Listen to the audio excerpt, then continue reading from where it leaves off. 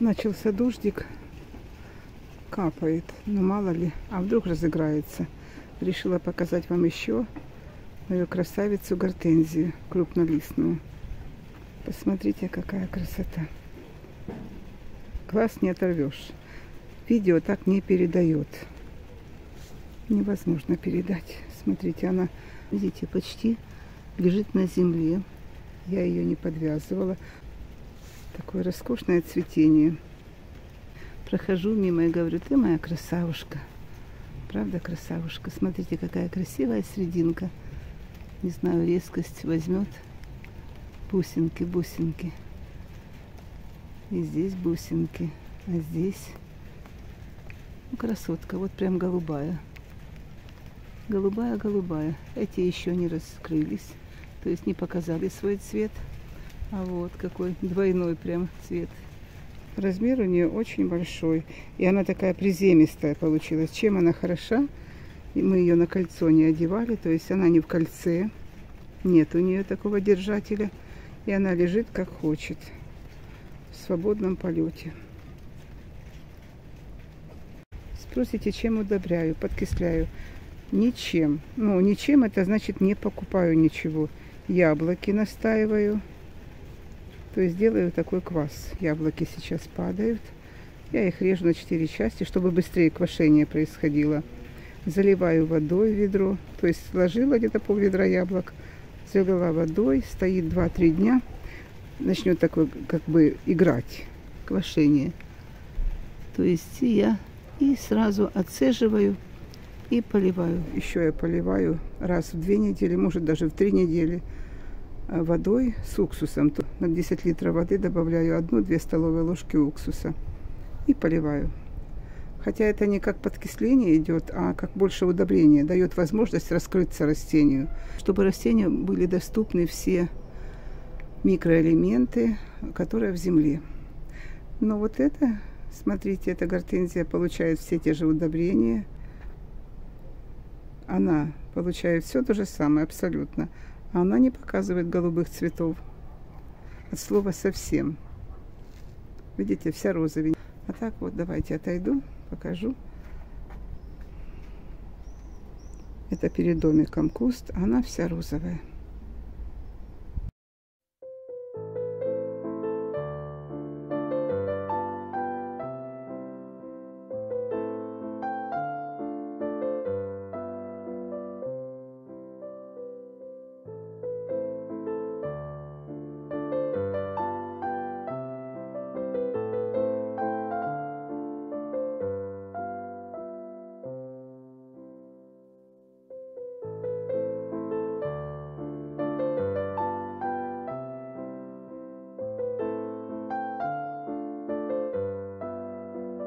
Меня просили рассказать, что любит мискантус. Мискантус здесь растет на солнце. Практически не поливаю. Мискантус я не поливаю, не удобряю. Но иногда, вот когда засуха, то мы можем положить шланг. Просто для всех растений. Здесь воду любит анимона японская любит воду. Потом шалфей у меня был с бутонами. Это я говорю, что я поливала, когда была засуха. Уже недели две вот у нас сухо, а то даже может и больше. Недели две точно сухо, но мы ни разу эту, вот ни разу цветник этот не поливали. Шалфей лекарственный отцвел, как бы бутонов там уже нет, нечему цвести. Поэтому поливать, рудбекия потерпит, рудбекия, рудбекию от слова никогда не поливаю. И в данный момент мы даже шланг не ложили. Вот. Мискантус живет без полива, без определенного полива, без точечного даже полива. Пеннисетум тоже вниманием обходим. Очиток видный, он тоже засухоустойчивый. Ну, а лилейники тоже можно не поливать. Польете, они вам только скажут спасибо. И то же самое лихнис корончатый тоже. Лихнис корончатый это самосейка, то есть бегает по участку. В этом году у меня здесь растет. Отцветет, я его просто вынимаю с корнем. Он сеется в другом месте. То есть в этой грядке, в этом цветнике у меня засухоустойчивое растение. Ну да, как выживают, так и выживают. Единственное, что любит полив, это Вероника. Она уже отцвела. Нужно будет ее обрезать. Ну и вернемся к мискантусу. Сегодня 7 июля. И вот такой мискантус. Это старое растение. Я его уже я его не могу выкопать, делить не могу, а лопатой мы отрезаем. То есть с трудом, но отрезаем. И сейчас я вам покажу, в каком месте еще растет мискантус. И там немножко меньше солнца. Но там маленький росточек был. Сейчас пойдем вон туда. Вон туда пойдем, к стоянке. Здесь у меня деленочка. Отрезали от основного куста лопатой лопата и, по-моему, даже при помощи топора. То есть вот так. Очень тяжело делится. От слова правда, очень. Но третий год уже наращивает вот такой кустик уже нарос. Но здесь полутень. Здесь закрывает, накрывает солнце основное южное, закрывает до нешта. А потом здесь вот яблонька. Вам покажу ствол где. Вот ствол. И этот цветник, можно сказать, под яблоней. Это зимняя яблонька. А там дальше толстая, вот большое, я, большая яблоня, это Денешта. То есть здесь закрывает его, и может быть поэтому он слабенько растет. Ну, три года, за три года вот так вырос. И ниже ростом. В этом году деленочку посадили. Смотрите, в горшке деленочка. Тоже отрезали лопатой. Вот такая, смотрите, деленочка небольшая. Ну, вот так себя ведет в горшке. Я уже говорила, если вы не знаете, куда посадить, посадите в горшок. Но мы даже не прикапывали его. Я, конечно же, его поливаю хорошо. В горшке, какое бы засухоустойчивое растение не было, поливать нужно. То, что я говорю, если я говорю, растение не требует полива, это имеется в виду в грунте. Горшок это одно, а в грунте это совсем другое. Вон там мой мискантус, видите? Это он еще низенький он будет до двух с половиной метров. В том году высокий-высокий был. Я не замечала, чтобы он стрелял. Это мискантус зебринус. Давайте с этой стороны подойдем. Это мискантус зебринус. Я не замечала, чтобы он стрелял. Ну, у меня он уже 6 лет. Даже, наверное, 7. Ну, 6 точно. Купила маленькую деленочку. И вот такой красавчик у меня – вот такое мощное растение выросло за столько лет, за 6 лет. Не замечала, чтобы он стрелял. Разрастается, только наращивает объем. Цветет не всегда, не каждый год цветет, не цветет, но растение само по себе очень красивое. Выигрывает за счет расцветки листа.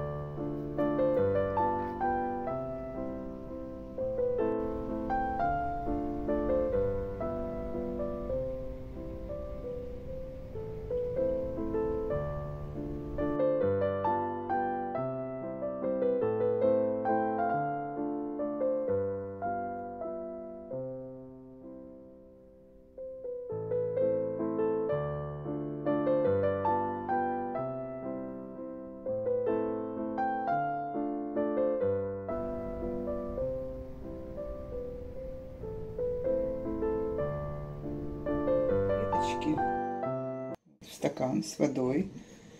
И я поставила 26 февраля 2024 год эти ветки в воду. Сегодня 24 мая. И вот такие корешки. Но это последние уже. Первые веточки, которые дали корни, я уже посадила. Посадила я 25 апреля. Уже увезла на дачу. Потом вам покажу. В этом же видео я вам покажу. Было три веточки. Одну веточку я выломала и черенковала просто в землю. То есть как тепличку делала, как парничок делала. То есть укоренила я деревянную ветку, укореняла, плюс снимала вот такой стебелек с листиками и укореняла в грунте уже. Я тоже покажу сейчас. Сегодня 24 мая, то есть месяц спустя эта ветка дала корень. То есть месяц спустя от остальных веток, от первых веток, вот эта веточка дала корешки. От деревянной веточки я эти череночки сняла и укоренила. Укореняю прозрачные стаканы. Вот эти черенки я сняла с древесных веточек, то есть то, что выросло на ветках деревянных, и посадила в прозрачные стаканы.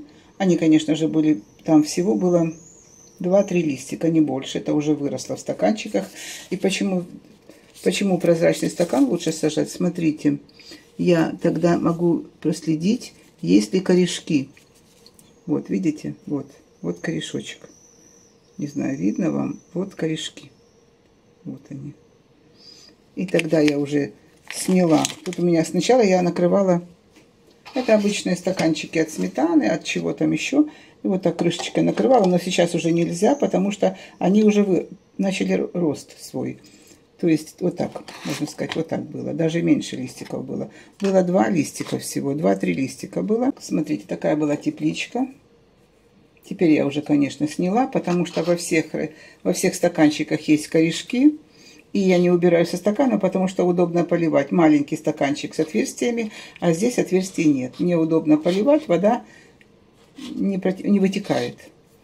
Теперь эти стаканчики поедут уже на дачу. Эти черенки на укоренение я оставила, то есть я сажала в землю 12 апреля. И спустя примерно две недели можно уже смотреть, нет ли корешочков. У меня первый корешочек, ну первый стаканчик, да, дал корешочки 9 мая. Вот они мои гортензии, которые я укореняла весной. Смотрите, они получились на ножке, потому что я укореняла веточки.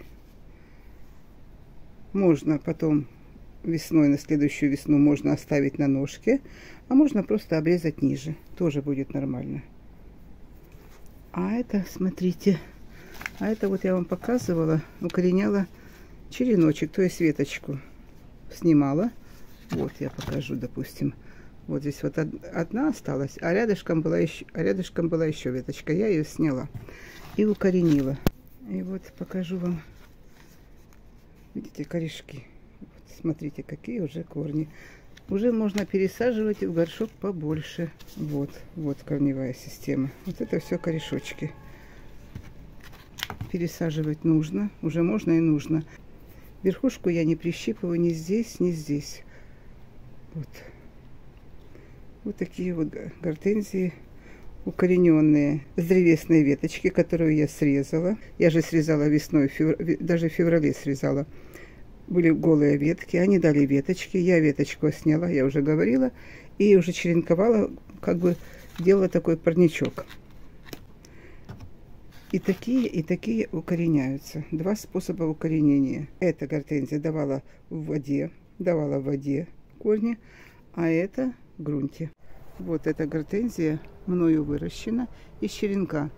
Позапрошлом году укореняла, в прошлом году, прошлым летом она у меня росла уже в горшке на подращивание. Осенью я высадила ее в грунт. В этом году пока цветов не вижу. Пойдемте в другой цветник, вон туда, вот туда, к стоянке. Там тоже есть фрайсмельба. Проходим мою гипсофилу. Остановились, посмотрели, идем дальше. Так, вот, смотрите. Тоже вот кустик. Кустик веточка раз, веточка два, веточка три. Но цветочных веток я пока вижу только одну. Вот она. Одна. Может где-то потерялась. Пока одна. Веток много. В этом году веточек много. Но цветочных нет. Вот цветочная ветка только одна. Но кустик неплохой.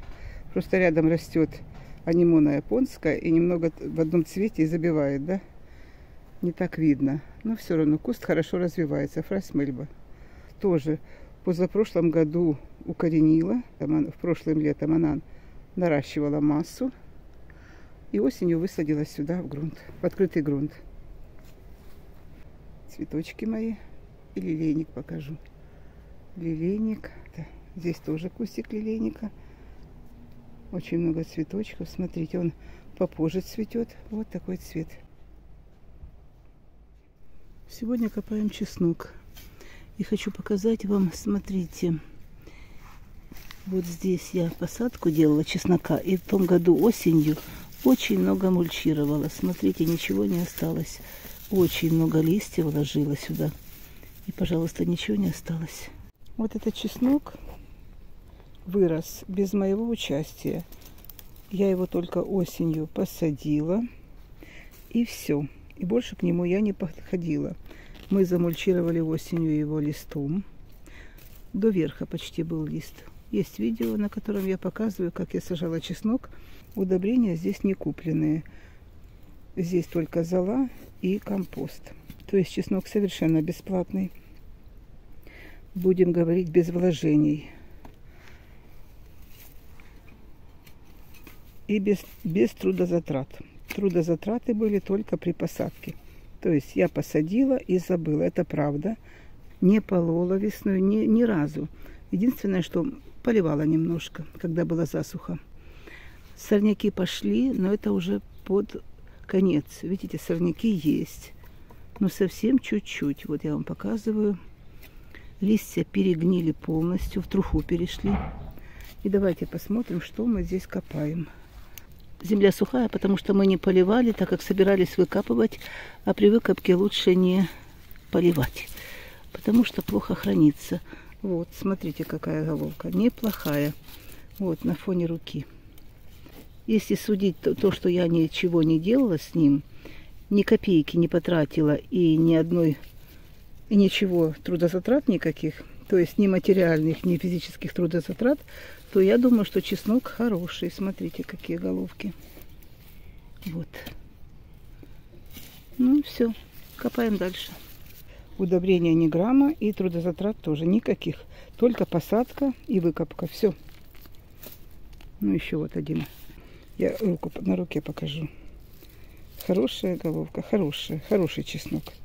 Без затрат. Как я говорю, без материальных затрат и без физических. Вот еще зеленый. С чесноком ничего не, не делаю. Сейчас положу в тень и пусть подсыхает.